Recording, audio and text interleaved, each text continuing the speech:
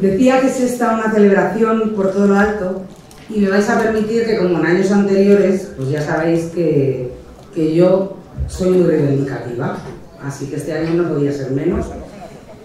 Estoy reclamando nuestro sitio en el, en el panorama artístico cultural español y lo estoy reclamando porque somos los grandes olvidados.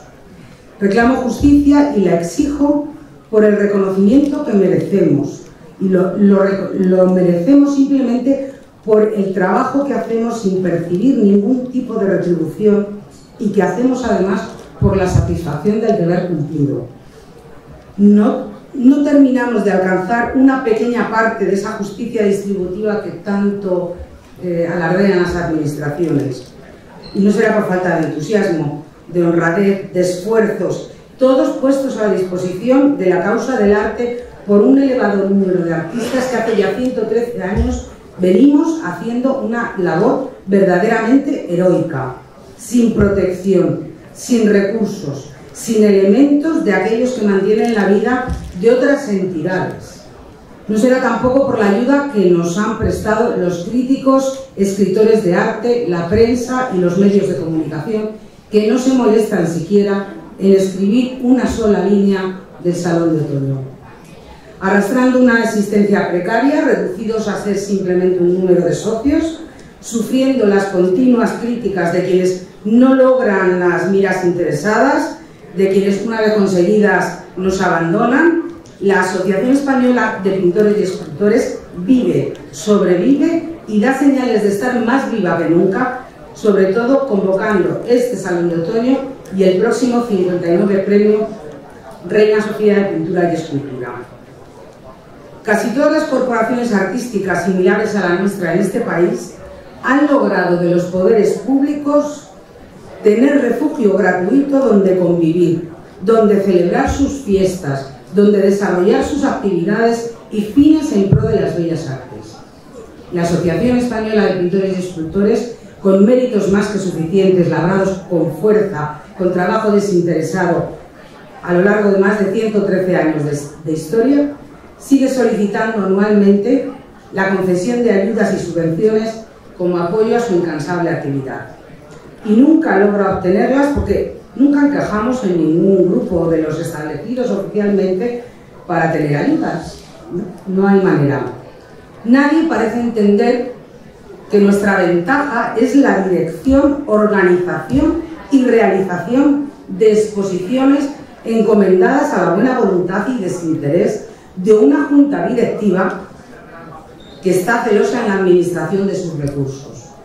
Por eso, nuestras actividades ofrecen un carácter singular que las diferencia del resto de las oficiales y particulares.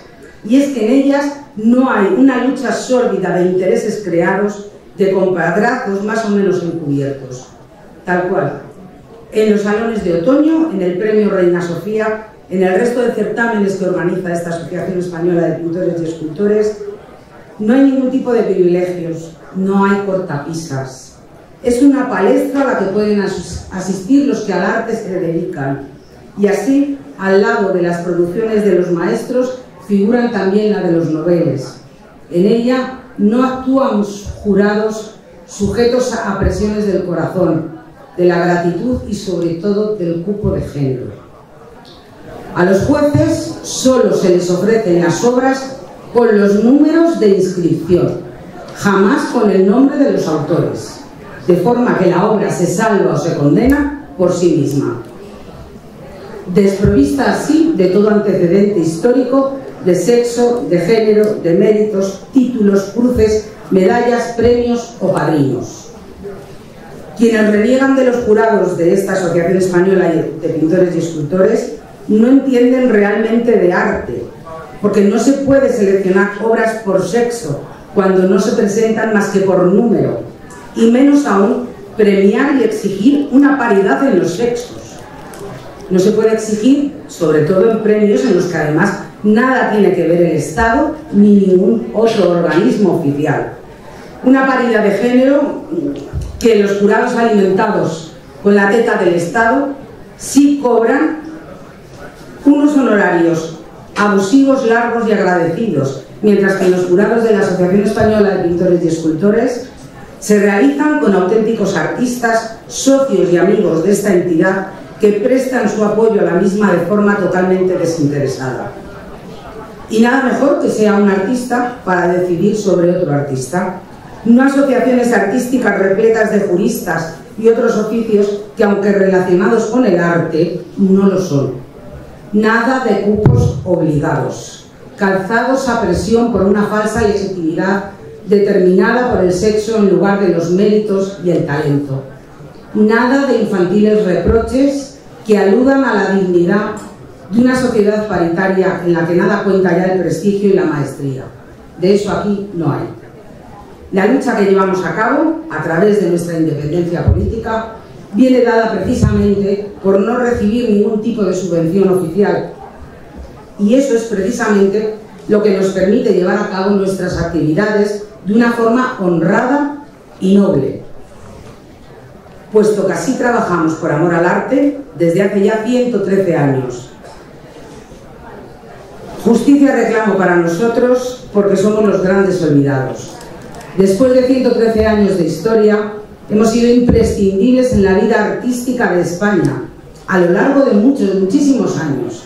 Hemos abanderado la creación y la exhibición artística en este país, a lo largo de décadas gloriosas de pintura y escultura nacional e internacional. Hemos realizado más de 9.000 actos culturales, solamente exposiciones, hemos hecho más de 1.000, hasta conferencias, todo tipo de actividades artísticas. Hemos sido la referencia obligada en la realización de exposiciones. Hemos sido pioneros en la edición de una revista artística que tiene 113 años de historia, como es la Gaceta de Bellas Artes. Hemos brindado nuestros socios a otras instituciones en las que han ejercido cargos de suma importancia, como directores del Museo del Prado, de la Real Academia Española de San Fernando, del Círculo de Bellas Artes, del Ateneo, de la Academia de España en Roma, del Museo de Arte Moderno, el que es hoy Museo de, de Arte Reina Sofía. Con todas ellas nos hemos relacionado, Todas han colaborado con esta Asociación Española de Pintores y Escultores. Todas han bebido de nosotros. Han forjado su historia con la nuestra. Y todas, absolutamente todas, se han olvidado de nosotros deliberada e intencionadamente. Desde el año 51 venimos reclamando a las distintas entidades la concesión de la medalla de oro para nuestra entidad, la concesión de la medalla de oro para nuestro Salón de Otoño que hoy cumple 90 ediciones, un reconocimiento que supondría a nuestra entidad pues, pues una larga satisfacción, no solamente por los que actualmente nos encontramos en la Junta Directiva, sino por el homenaje sincero a todos los que han sido parte de ella a lo largo de estos 113 años. Seguimos pidiendo lo que en justicia nos corresponde. Nosotros, que no costamos al erario público un solo euro, que pagamos religiosamente nuestros impuestos, que gestionamos todo para dar visibilidad a los artistas y lo hacemos todo por amor al arte. Y lo reclamo porque el resto de entidades viven de esos fondos oficiales y pierden así su independencia.